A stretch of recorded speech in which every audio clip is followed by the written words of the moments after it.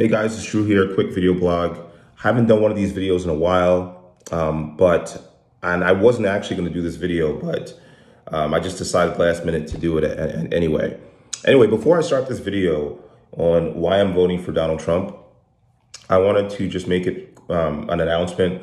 I recently got engaged uh, to my girlfriend of two years, um, you know, and we, we, we got engaged on the 27th of September, actually. So it's been a while since we did. I proposed to her in front of her family and my family all together. It was a really momentous occasion. I'll probably post some of the pictures and some, some of the things on my later videos and whatnot. Um, but I got to say, you know, as a, as a man, if you're thinking of proposing to a woman and you're thinking of getting engaged and you're thinking of taking that next step, um, I think it will help you if you are doing it in concert and under the guise of and under the direction of God. If, if you're following God and whatnot, you want to honor the woman that God sent you. Um, it's a good way to make that next step, and it's a good way to enhance your covenant and your relationship and your agreement and your contract, your spiritual contract with God. And I'm just going to leave it at that. If you understand what I'm saying, then you understand what I'm saying. If you know, then you know. But anyway, let me, let's jump into the politics real quick. And I'm just going to keep this, I'm going to try and keep this short. But anyway, I'm voting for Donald Trump for many reasons. Uh, but I wanted to make it clear that the high tax rates that Joe Biden put out alone is enough to make me vote for Donald Trump. You know, and a lot of people I've said this to, it's it, it's been a little bit of a wake up call for me to see how many people respond to my statement and say, oh, but that's only for people who make over $400,000 a year. Well, I'm one of those people. I, I'm one of those people. I used to make $11 an hour as a file, as a file clerk for an insurance company in 2008. It's 2020 now. And uh, don't get me wrong, even during that time, I had always planned on becoming successful financially and successful in other ways as well. I remember making $11 an hour. I remember trying to fight just to make $12 an hour. And I remember it being like the fight of my life just to make an extra dollar an hour. I remember working at Cablevision. I remember working um, at Global Liberty Insurance. I remember working for all these different companies. I worked for a landscaping company doing um, phone calls, cold calls. I worked um, I also worked at a factoring company. I worked as a stockbroker. I was a financial advisor for a little bit. I had my Series 7 and my Series 63. I, what else? Where else did I work? Um, there's another place I worked at before that. Um, that it's just slipping my memory, my memory right now for some reason. Oh, I worked at Enterprise Rent-A-Car, Enterprise Holdings. That was actually a very good job. And uh, if I had stayed there, I actually would have done quite well. Um, but I had to leave for certain reasons, you know, and, you know, the journey from finishing college to where I'm at now was not easy. Okay. And, but I believe it's a journey that anybody who's motivated enough and who's ambitious enough can take. I believe it's a journey that, and I believe that I wouldn't have got here if I didn't take that journey because I wouldn't have learned all the different things I learned. I wouldn't have you know, it, it's more so, it's not about what goes on your resume. It's more so about the lessons that you pick up internally along the way and the things that you learn along the way about industries, about different positions in industries and whatnot. So anyway, back to the topic at hand.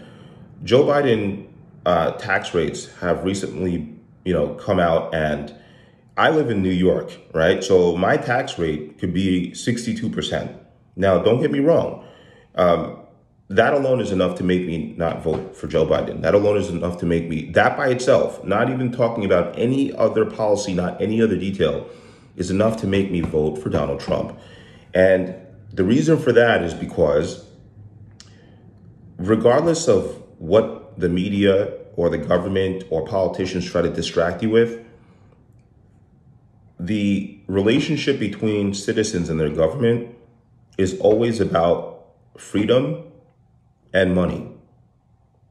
Those are the only two things that the government tries to take from you. The government is either trying to take your freedom or they're trying to take your money. It's always one or the other. And freedom and money have a relationship. They have a direct relationship. They're directly correlated. The more money you have, the more freedom you have in, in, in many cases. You have more options, you can do more things. People with finances and freedom will always do what they want, will always contribute to the causes that they want. So I'm not expecting the government to fix climate for me. I'm not expecting the government to fix healthcare for me. I'm not expecting the government to fix a whole bunch of things for me. I just expect the government to do the bare minimum. You know, you, they finance the roads, they finance the bridges. You know, they they operate the you know strong military, protect from you know protect citizens from out outside invasions. The basics. I'm not expecting the government to mm, uh, um, get involved in the environment. Like, I, I don't look at the government as God. The government is not God. The government is not God. I don't look at the government for moral direction. I don't think I don't look at the government for these things. The government is just supposed to provide an environment where you can pursue your dreams and you can thrive. That's it. I don't I don't expect the government to take from one person in order to give to me. I don't expect the government to track me. I don't expect the government to do anything other than that. And that's it. That's it. That's really it. I, I don't expect the government to make to, to make uh, uh, um, laws concerning my skin color. I don't expect the government to do anything except leave me alone and allow me to just pursue my dreams, which I've done. Which I've done. I don't expect the government to give me favorable treatment because of my skin color. I don't expect the government to do anything outside. Just leave me alone, let me earn my money, keep tax rates really low, and that's it. That's it. That's it. I don't expect the world to give me something. Even in business, when I created my business and the way that I operate now is I create value, I provide a service, I market that service, people pay for it. That's it. That's all it is.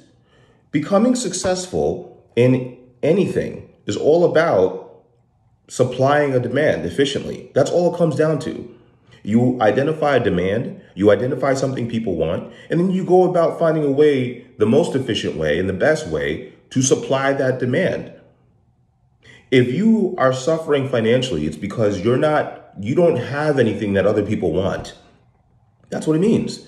It means that other people don't value your time and other people don't value your skills or your energy. Whatever you bring to the table, other people don't value it or else they would pay for it willingly. So that's what it is. That's what it is. If other people value what you are selling, they will pay for it and you will make money. It's pretty simple. So I'm not expecting Joe Biden to change my life. I'm not expecting Donald Trump to change my life. I change my life. We, you know, we change our lives. It's not presidents, it's not politicians that change our lives. However, you can bet that I'm not going to vote for somebody who's going to institute a 62% tax rate. And by the way, even if he does institute a 62% tax rate, I hope you understand that people in my tax bracket are not going to pay that. They're not going to pay that. People in my industry already do this thing called the Puerto Rico strategy, where they go to Puerto Rico and they make it apparent that they live there for more than half the year. For more than six months of the year, they live there and they get a 4% tax rate. That's a real thing that really does exist. I just haven't exercised that because it's kind of like, it, it, it would kind of, like, I like being close to my family and my friends, and I, I don't want to live in Puerto Rico for seven months out of a year. I can operate my businesses from Puerto Rico just fine, but I, I just, I have always wanted to live near my family and my friends. I've always wanted to be within driving distance of my friends and my family in case they need me, you know? So that strategy doesn't necessarily work for me, but there's other loopholes. There's, there's triple, there's, there's triple tax-free municipal bonds where you can just park your, your income in there and they're tax-free. the Democrats and Republicans alike know that high tax rates are really all for show. High tax rates are a way of making the middle class and the poor pay extra taxes while thinking that they're sticking it to the rich people. You know, people in my bracket are considered rich. Okay. I don't feel like I'm super rich or anything. I know that I'm well off, more well off than most, than 90, 99% of society, but I don't really consider myself that rich because when you get up here, you know, uh, you see people with, you see people with yachts and you see people, I don't have a yacht. You see people with, um, you know, private jets. You see people with, like everybody else around you has more. So you don't really see yourself as rich when you get to this point, you know? And plus I live in New York you know what I mean? I live in New York City, so it's like my money goes far. It goes far. Don't get me wrong. I'm not struggling, but I don't see myself as, you know, super rich. There's levels to this, and I'm not really on the top level of wealth. Like I, am definitely wealthier than the average citizen, but I, I don't see my I, like I, I make considerably over 400k, considerably over that, but I don't see myself as like I, I'm, I'm nowhere near, like I'm not a Donald Trump. I'm not a Bill Gates. I mean, you know what I'm saying? I'm, I'm not even, um, I'm not even a Mitt Romney. You know what I mean? Like, uh, so it's like, to put things in perspective, somebody like me who I'm 35, you know, I just got engaged. I don't have any children yet. Um, and I would like to, I'm going down this path, right? I'm going to establish a family and, you know, and you know, my goal is, my ultimate goal is just to perpetuate the kingdom of God the way that he sees fit and to spread prosperity and love to people that I love, people that I care about, and just, you know, set an example for society, for people around me. That's my goal, you know, and it's difficult to do that when the government is taking 62% of everything that you own and that you earn. So that alone by itself is enough for me to vote for Joe Biden. I'm not about to sit here and talk to you about all the smears and all the dirty things that Joe Biden is involved in or Trump is involved in. I don't care about that. That's garbage to me. That's garbage. We got past that in the first election. I, am done with that shit. I'm done. I'm done with that. Going back and forth and whose son did this and whose son was on cocaine and whatnot. We're not electing these people to be friends with us. You know what I mean? Like, I'm done with that stuff. I care about what policies are these people going to institute that is favorable or that's, that creates a favorable environment for me to thrive? That's what I care about. And I honestly feel like for all you Joe Biden supporters, do you realize like he could win this election so easily if he was just like, listen, I'm going to institute a 10% tax rate. He would win. He would win. Like I would like I would say about 90% of Trump supporters would move over to Joe Biden just for that. Just for that. We don't it's not about it's not about you know, it's not about anything else really. You know, at the end of the day, like people, like I said before, people with freedom and people with finances will do as they please. You know, I, people with freedom and finances will do as they please. This country is a country of opportunity. You come here, you you make money, you build your family, you have freedom to do the things that you want. That's how it's supposed to be. You don't come here so the country can take care of you. You know, if you want a socialist country, you would stay in Europe you stay in one. If you want a socialist country, maybe you go to Venezuela, you go to Cuba, one of these countries. You know that they pretty much take everything that you earn and they share it amongst the whole the whole public, so that no matter how hard you work no matter how hard you try, you can't move forward. And that just creates a that just creates a depressed economy eventually, by the way, because nobody nobody really puts any effort into becoming any better than they could be. There are people just living under this, you know, iron rule. Who wants to live like that? You know what I mean? So that's why I'm voting for Trump in 2020. Um, you know, and I, honestly, like if Trump loses, he brought it on himself. He brought it on, if he loses, he brought it on himself because he antagonized his haters to the point where like they're they're not even supporting they're not supporting Joe Biden because they love Joe Biden. They're supporting Joe Biden because they hate Trump. They're voting against Trump. They're not voting for Biden. They're voting against Trump.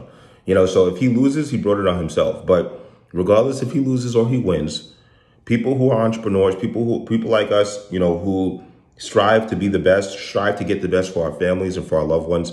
We're going to make things work no matter what, regardless of who wins. But I just wanted to state I'm supporting Trump in 2020, and this is the reason why. You know, the, the, the policies that are coming from the left side just don't make any sense to me, and they're not conducive to success. They're not they're not conducive to growth.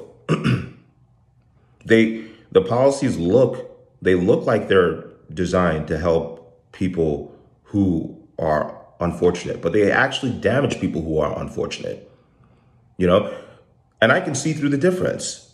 I have a trained economic eye. I have a trained financial eye. That's how I got. That's how I was able to accumulate wealth. I have a talent for management. My people who use my services, I manage their companies, so I can see things ahead of time and prepare for them and move out of the way of them if I need to. Seeing ahead of time, I think Joe Biden would be a disaster economically. I think he'd be a disaster for financial policy. And I think that he would institute a lot more things that would cause us to lose our, like, you know, mass mandates and all this nonsense, lockdowns and shutdowns. And they would, I, I feel like he would destroy, he would destroy the economy. Anything that's being dealt, any, any progress that's being made to move us out of COVID-19 that Trump is doing, I feel that Joe Biden would reverse that. And I feel like liberals would not care as long as they have their own person in office and Trump has been booted out. They wouldn't care. They don't care about people losing money. They don't care about any of that stuff. As long as they can blame the former administration for all eight years, they will do that. They did that with Obama. They will do it again. So that's why I'm voting for Donald Trump. That's all I got to say. Have a nice day. Peace.